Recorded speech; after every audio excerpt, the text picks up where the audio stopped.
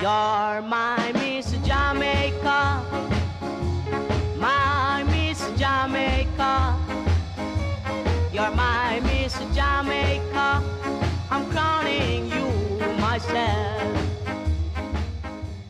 Today in Canada, the sun is actually shining, but I still tell you, I still miss Jamaica a lot uh, for obvious reasons. We've had a horrible winter. And speaking of missing Jamaica, we have the real Miss Jamaica. Can you believe it? I am here with Gina Hargitay. Welcome and nice to meet you. Thank you very much. Yes, how do you like our weather so far? So far, I mean, I was expecting a lot worse actually. Yeah. I was scared when I heard about the minus 30 and minus 20 and all kind of minus that's been going on. But Yeah. the sun came out and it's in plus degrees, so I'm very happy. Good. Well, you brought some sunshine with you at least, you know. Apparently, Yeah. apparently- I brought it especially for you. It was my gift to Thank you. Thank you. and I hear last night you were at a gala in Toronto. Yes. Yeah, and Tessanne Chin was there and all kind of stuff. Tell us about that. What, what was that Well, it was about? the UWI Gala, Yeah. and it's um, a gala that raises money for scholarships for UWI students who can't afford to continue their studies. So it actually provides a lot of scholarships. Last year, they received over enough for over 30, 30 Mm-hmm. students to complete their studies, which is really amazing. And they also honored several people with awards like Luminary Awards, Chancellor Awards for their outstanding service to the Caribbean. Right, wonderful.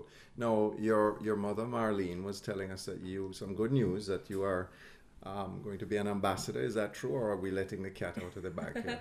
Well, at the moment, yes, I'm pushing to become a UN ambassador. Wow. Um, at the moment, I've been working with UNAIDS in Jamaica, Mm-hmm. so a regional ambassador, and hopefully that will turn into a global ambassadorship. Fantastic. Well, yeah, you have a busy, hectic schedule. Definitely. Go, go, go. Well, at, you're 18, right? So you've, you, 19 now. 19. Oh my goodness. So you've you've got all the stamina in the world for sure. But you seem to have a passion for charities as well, and you know that's somewhat surprising for somebody your age because um, we're in the home of, of Carlene and, and late Matt Bean, by the way, and we were discussing at 19 what were we doing? Well, we were probably riding bicycles and you know getting up to all kinds of stuff. But your generation, for some reason, you know, has has a completely different view on life. Where does this passion come from to be engaged in charities at such a young age? Well, I think it's it's something that I've always been involved in. It's something that I've always had a passion for, mostly because of my parents and their influence. They've always taught us, Mm. my siblings and I, to be very conscious, very socially responsible people. Right. And so, whenever we're faced with tragedy or whenever we're faced with challenges, we always rise to the occasion by trying to fight back and do something. Hmm. So, my charity work really started when I was probably about 13 Wow. my aunt was diagnosed with breast cancer and um, we were living in london at the time and so every year from then on i would do the race for life which is a cancer marathon Mm-hmm. raising raising money for cancer research Mm. and um, from that i'm also very passionate about children and so i was very happy that the miss jamaica world organization was working with four charities all to do with children Mm-hmm. Terrific. So just go through some of those charities as well, because four or five of them you, you said you were four in? Yeah. and uh, we've just recently added a fifth so Wow. we started off with step which is the school for the therapy education and parenting of children with various disabilities Mm-hmm. as well as McCam childcare center and they cater to children with mental dis- disabilities like autism and um, and down syndrome Yes. they're actually pioneering for the first autistic classroom in jamaica Really? so we're trying to help them raise funds for that Wow. as well as st patrick's foundation Uh-huh. and um, school for the deaf Yes. and for school for the deaf i'm learning some sign language Terrific. and then recently, I was the um, one of the ambassadors for the Kingston City Run, 2nd Mhm. annual Kingston City Run. Mm-hmm. They deal a lot with charities for the poor, Yes. and one of one of their charities is Missionaries for the Poor. Right. And so my franchise holder and I, we got the opportunity to go and visit and see the work that these people do, and it's amazing and Hmm. heartbreaking the struggles that these people are going through. Not only adults, but little children whose parents couldn't deal with them Right. children with disabilities as well as just children whose Mhm. parents just couldn't handle it and left them.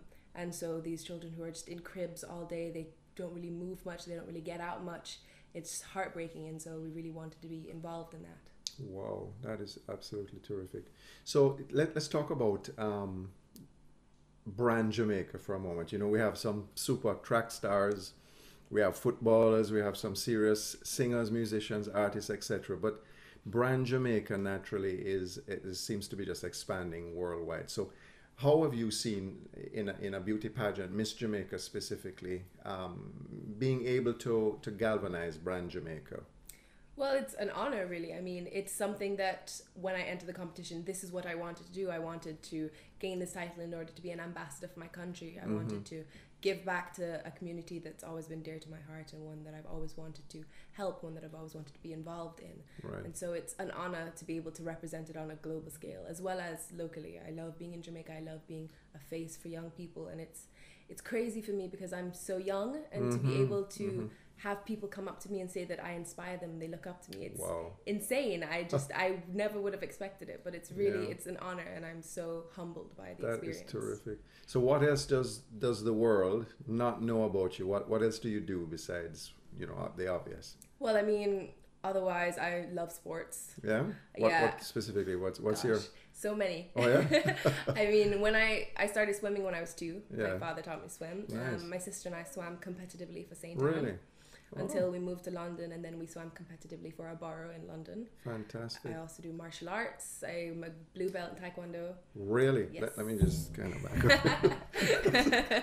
I've done tennis, netball, hockey, really? uh, Oh, tag goodness. rugby, um, Wow. fencing. And you're what? 19? 19. oh my goodness. So essentially, my mom and dad always pushed us into Yeah, yeah. extracurricular activities. so I mean, I do modern jazz as well. I have a gold shield in modern jazz dance. What?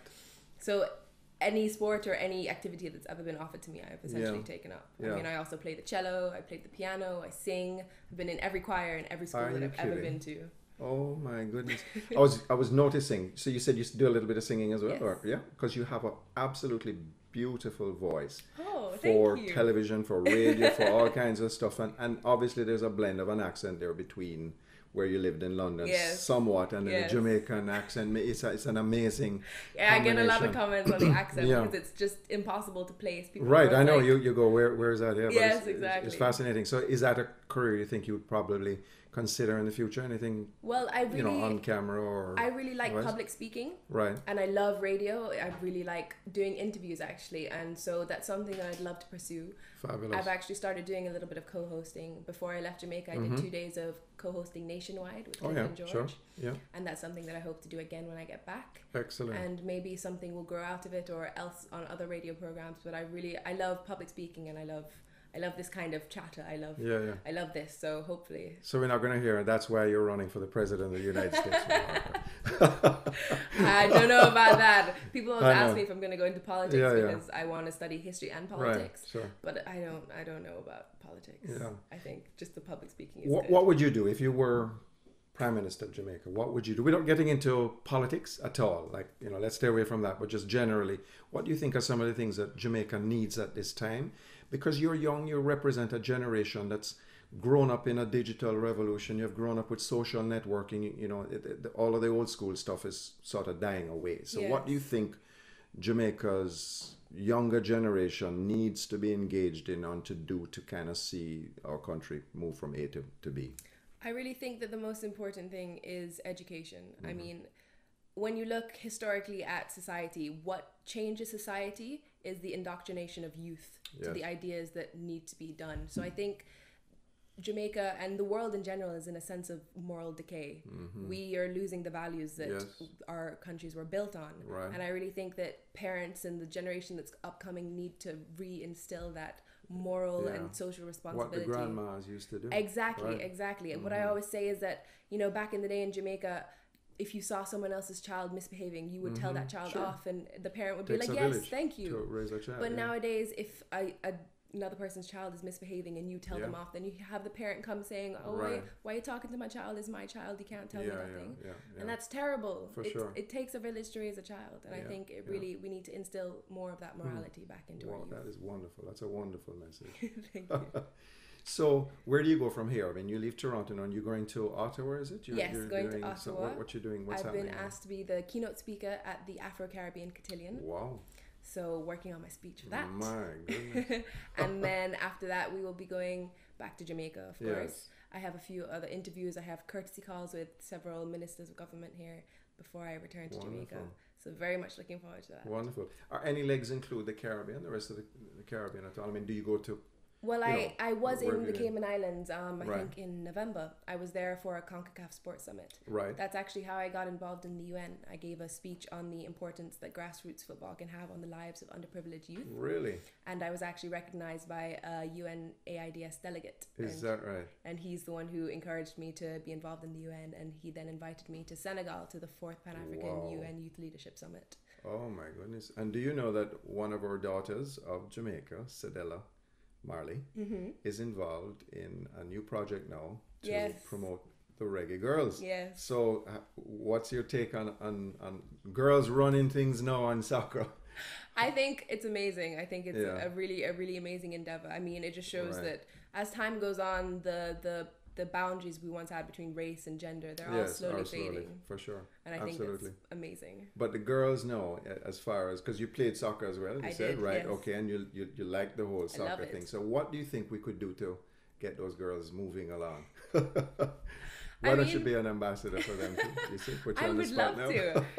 if you're Yeah. listening, hey. yeah, exactly, exactly. But I think I think just Yeah. more encouragement, more Yeah, social encouragement, more sure. more encouragement throughout the country for our young women to be involved in such activities is amazing. Yeah, And I think recognition for their for their talents. for what they do. Exactly. As well. And I, and I think getting back to your point about the educational aspect of it all, I think I think you can't have sports without helping people educationally. Yeah. We're just taking them and because of their athletic ability, putting them into us into a circus environment and just leaving them there is not enough. We have to actually do something more for athletes Exactly. and at a grassroots level as well. exactly. So um, it was great to meet you. It was great to And, meet you. and anything you want to to just add to our listeners? Well, my, my mother always tells me to give a final message to youth, considering I'm a youth ambassador. Yes. So, what I always say to young people and Why don't you look, look into the camera Oh, okay. and, and, and and- what I always say to young people is my personal motto and one that my parents have always instilled upon me that you have to do what you have to do so that you can do what you want to do and you can never work too hard for something that you want. So, go for it.